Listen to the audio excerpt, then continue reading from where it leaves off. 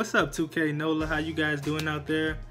Um, I wanted to talk a little bit about how you can survive your first year of college.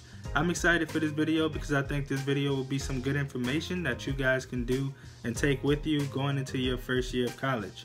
So, so number one would be time management. Now time management, you want to do things like prioritize your work, prioritize your time, um, overcome procrastination was going to be a really big thing for you guys.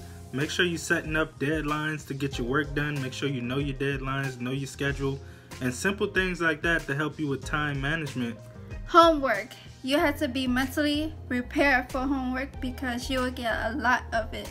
Next, socializing and networking, which is really important. You never know how many opportunities could come available to you when you're networking.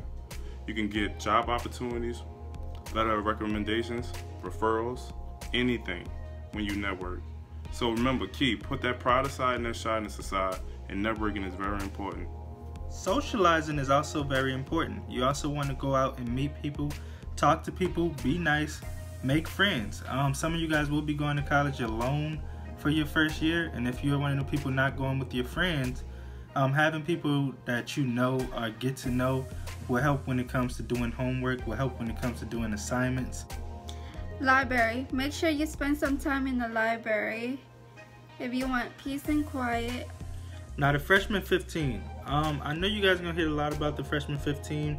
What is freshman 15? It is when you guys come to college your first year. You don't really know what to make, so you're eating a lot of junk. You're buying a lot of snacks, buying a lot of fast food, and you gain weight. So how do you avoid that? What I would do is I would get fresh meals and I would budget my money. If you don't, if you're not on the meal plan to where you're getting the three meals a day, um, just budget really well and cook fresh meals. If you do have a meal plan, make sure you take a plate home with you because you don't know when you're gonna eat again. You don't know when you're gonna get hungry again. So just little steps like that. Next is slave battle, the stupidest battle of all time. Don't be that guy or that girl to come to college fresh every day. The new J's, all that. You won't make a statement. Nobody cares about that in college. All they care about is the GPA, homework, and classwork. Also, the slave battle can become very expensive. There's nothing wrong with going to college with slippers, tights, gym shorts, sweats. I'm working out and taking naps. Like, working out is going to be good for your brain, believe it or not. Be good for your energy. If you continue to do something that's healthy for your body do that. Naps. I took naps after i would do my schooling. Before i did my homework i would take a nap. So i would recharge just to do homework. So naps is very underrated when you're going through your day because i didn't want to cram my day into work school homework without taking a nap. So don't underestimate those naps man get you a little nap in before you get your homework in. That'll be very good for your resting and your mentality. Make sure you contact your family every two weeks so they could at least know you're okay. Alright, Greek life. Your freshman year of college, um, you're gonna be excited about hearing all these different things about Greek stuff. And it's all fine and dandy, but it's your first year of college. Don't worry about none of it. You don't have to speak on none of it. Just don't worry about it completely. Instead of worrying about Greek life, go explore some of the programs. About see whatever programs your college has to offer. It's going to be a lot of fun. It's going to be a lot of things that you can do right now, but not your first year. Don't worry about Greek life. Don't go to college looking for a spouse, a boyfriend, a girlfriend, a hubby, a babe. Let it happen. If it happens, it happens. But don't let a male or female be your distraction. Have fun, but keep it cordial. Keep it to a safe distance. Don't let a relationship be your distraction. Um, another thing, while you guys are socializing out there, make sure you avoid the clowns. There are gonna be a lot of guys out there who think that they're gonna take some of the foolishness they have back at home into college.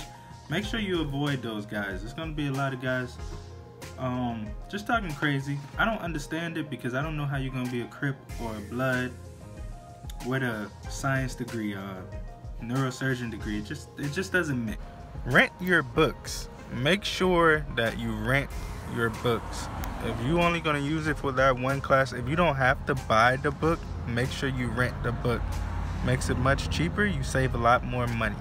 All right, last but not least, man, getting around school. So getting around school, um, a lot of people underestimate bikes. You know, bikes and scooters. You know, you don't have to drive all the way around school. You definitely don't want to walk all the way around campus. If it's a big campus and it's hot out there, raining out there, stuff like that. Um, just having a little bike is something to get around on. Some people actually use skateboards to get around if they're on a bigger campus. So that's one thing you shouldn't underestimate. And that's gonna be it for this one, man. And whatever's good for your soul, remember, do that, hit that like, comment, and subscribe. And this one was requested on ax2knola at gmail.com. So we got some of the team to do that one for you guys. And remember, if you guys have a question, you have a topic, you have any requests, that you want us to talk about. Um, someone requested that we talk about this. How do you survive your first year of college? And there you have it, man. Some tips from 2K NOLA. And we out, man.